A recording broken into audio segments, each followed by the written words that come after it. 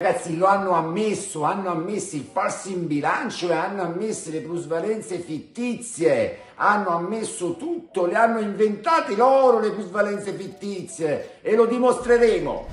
Fermi, fermi, fermi ragazzi, prima di andare avanti mi raccomando, mi raccomando iscrivetevi al canale per voi è gratis, attivate la campanellina per sapere in anteprima l'uscita di nuovi video, mettete like al video, ma soprattutto ragazzi, ormai è un mantra, condividete, condividete condividete. Ben trovati amici, ben trovati. Eh, ragazzi, continuiamo con uh, l'esposizione di tutti i furti che ha commesso l'Inter nella sua storia.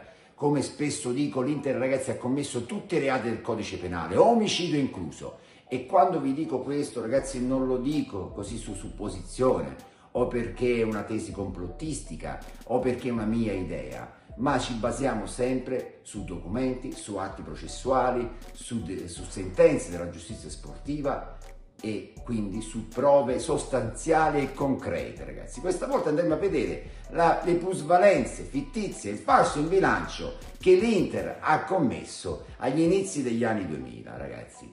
Eh, quell'epoca lì, perché dovete sapere che le plusvalenze che poi alla fine la Juventus è l'unica che ha pagato per questo reato, per questo diciamo fattispecie di reato, le ha inventate l'Inter. L'Inter ha inventato la plusvalenza fittizia. Cosa fecero ragazzi?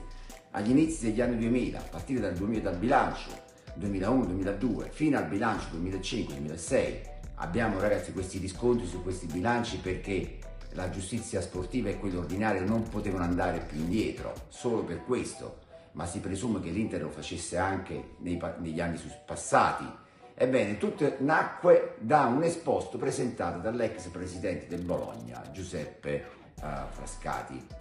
Eh, ebbene, ragazzi, lui presentò questo esposto alla Procura uh, di Roma, la quale passò gli atti poi alla Procura di Milano, la quale si dovette attivare per forza. E negli anni post-Tangentopoli la Procura di Milano era una procura molto attiva, all'epoca c'era Berlusconi come Presidente del Consiglio, come ben sapete, ebbene la Procura di Milano si attivò e inviò, avviò un'indagine per farsi in bilancio.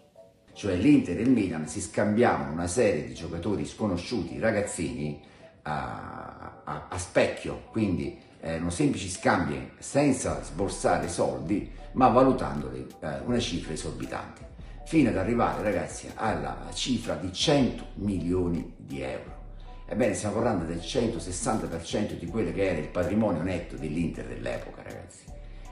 L'Inter inoltre, oltre a fare queste operazioni col Milan, fece anche delle operazioni, fece anche delle operazioni con la Lazio e nella fattispecie per le operazioni che riguardavano il giocatore uh, Crespo um, uh, e Corradi.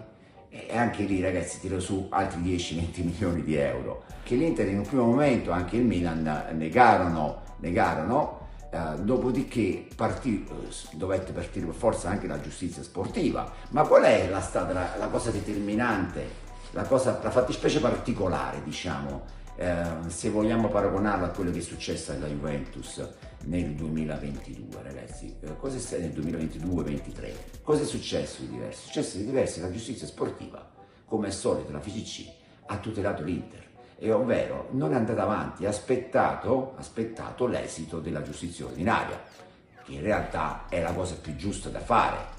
Perché? Perché se poi le accuse dovessero cadere o dovessero risultare infondate, tu non mi puoi far pagare il campionato o darmi una multa dei punti di penalizzazione quando poi semmai il processo ordinario evidenzi che in realtà non solo sono, stato, sono innocente ma sono stato anche diffamato. Quindi oltre il danno la doppia beffa quindi per evitare questo la, la FIGC decise di aspettare, mentre con la Juventus hanno detto alla giustizia sportiva ragazzi deve essere veloce, non può aspettare uh, la giustizia ordinaria, eh, per forza, e quindi hanno penalizzato la Juve velocemente, con l'Inter decisero di aspettare, ragazzi, uscirono fuori delle cose eclatanti. Poi addirittura la giustizia uh, sportiva, tramite la Covisoc, che è la società della FIGC, eh, che ha il compito di verificare i bilanci della società e che se hanno i, i parametri economici uh, adatti per iscriversi al campionato, disse che l'Inter nel campionato 2005-2006, ragazzi sì, quello dello scudetto di cartone, disse la Covisoc che l'Inter non poteva nemmeno iscriversi al campionato, che anche Galliani insieme a Moratti all'Inter erano indagati per farsi in bilancio. E quindi la, la Procura di Milano eh, dovette archiviare tutto poiché il fatto non costituiva più reato, non costituiva più reato, perché prima era reato quando l'hanno commesso, dopodiché non costituiva più reato e quindi la Procura dovette archiviare tutto. La giustizia sportiva però non poteva fare questo. E quindi con la, l'atto della Covisoc, in base alla quale l'Inter non poteva iscriversi al campionato, ricordiamo ragazzi, un campionato in cui l'Inter uh, uh, raccoglie le, delle intercettazioni in modo illegale, nasconde le proprie intercettazioni, dà le intercettazioni di Moggi che sono molto ma molto meno gravi di quelle di Moratti e Facchetti.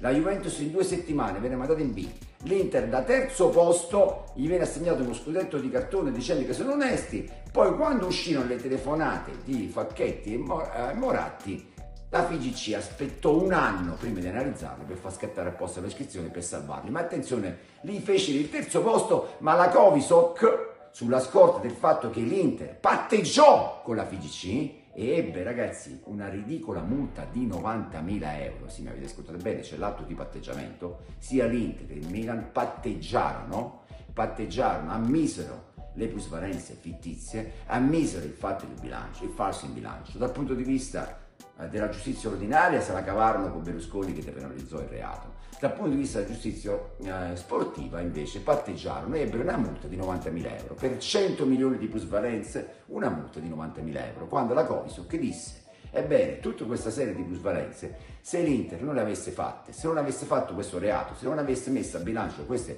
plusvalenze fittizie, l'Inter non poteva iscriversi al campionato. Questa è la truffa più grande della storia del calcio, ragazzi ma nessuno è più bravo di loro a rubare, perché l'unica cosa che questi qua sanno fare meglio di truffare, di rubare, di corrompere, di occupare, perché hanno occupato la FGC con Guido Rossi, è quello di negare l'evidenza. Ebbene, uh, anche il Milan in quel caso patteggiò e si beccò la, i 90.000 euro di multa e finì tutto in cavalleria, mentre la Juventus, come sapete, per plusvalenze che non sono fittizie, perché poi alla fine abbiamo visto Orsolini, Dragusin, sono tutti giocatori di un certo livello, e che oggi addirittura vengono, sono state valutate 10 volte in più. Condannata la Juventus a 10 punti di penalizzazione, mentre l'Inter 90.000 euro di multa. Sono fatti incontestabili. Ma l'Inter e le altre squadre di Serie A hanno smesso a fare plusvalenze fittizie? Ragazzi, no. L'ultima, tanto per dirne una, l'operazione Bastoni, dove l'Inter ha comprato Bastoni all'Atalanta per 45 milioni di euro e ha messo dentro tre giovani per un valore di 19 milioni quando valevano zero, li ha valutati 19 milioni, ha fatto 19 milioni di violenze fittizie, quei tre ragazzi, ragazzi, dove sono? Non esistono più, non giocano più nemmeno a calcio, ragazzi, non giocano più nemmeno a calcio. Stessa cosa per Casadei, stessa cosa per la storia di Lukaku col Chelsea, ragazzi, è un porcaio. Ragazzi, ma tra questi innumerevoli plusvalenze fatte a specchio tra Inter e Milan spicca sicuramente quella di Brunelli, del portiere Brunelli. Ragazzi, un caso assurdo, che non solo fu una, una plusvalenza fittizia, ma ci fu anche falsificazione di contratti. Sì, perché l'Inter, ragazzi, è fenomenale a falsificare. Falsifica i passaporti, falsifica gli scudetti, falsifica i bilanci, falsifica i certificati medici e falsifica anche i contratti. Sì, perché, ragazzi, Brunelli si trovò a sua insaputa da, di proprietà del Milan, si ritrovò all'Inter con una plusvalenza di 3 milioni di euro e la sua firma era stata falsificata e lui denunciò non solo alla giustizia sportiva ma anche alla giustizia ordinaria. Ragazzi, e se avete dubbi sulla veridicità di questo che ragazzi vi sto dicendo, basta andarvi a documentare su Google, basta andare a fare una ricerca e vedrete che troverete tutto ciò che vi dico, anche perché vi metto in sovraimmissione le immagini degli articoli dell'epoca, ma attenzione perché vi faccio vedere un articolo di una fonte che per i nostri amici prescritti dovrebbe essere il Vangelo. Ebbene, metto un articolo, ragazzi, del, di un canale dell'Inter, di un sito dell'Inter, i tifosi dell'Inter dell'epoca e vedete cosa scrivevano all'epoca i tifosi dell'Inter, gli stessi che oggi sono sicuri che verranno a commentare questo video e negheranno che l'Inter abbia fatto questo. Ma sapendo che li posso sbugiardare, però negheranno perché sanno che gli altri tifosi degli Inter sono così ignoranti che non andranno a controllare, non andranno a documentarsi, non andranno a fare ricerche perché amano l'ignoranza e amano vivere su supposizione, sul sentimento popolare, perché lo sanno che sono ladri e se ne vergognano alcuni, altri invece ne godono. Questi sono gli interisti, ragazzi, la peggior tifoseria del mondo.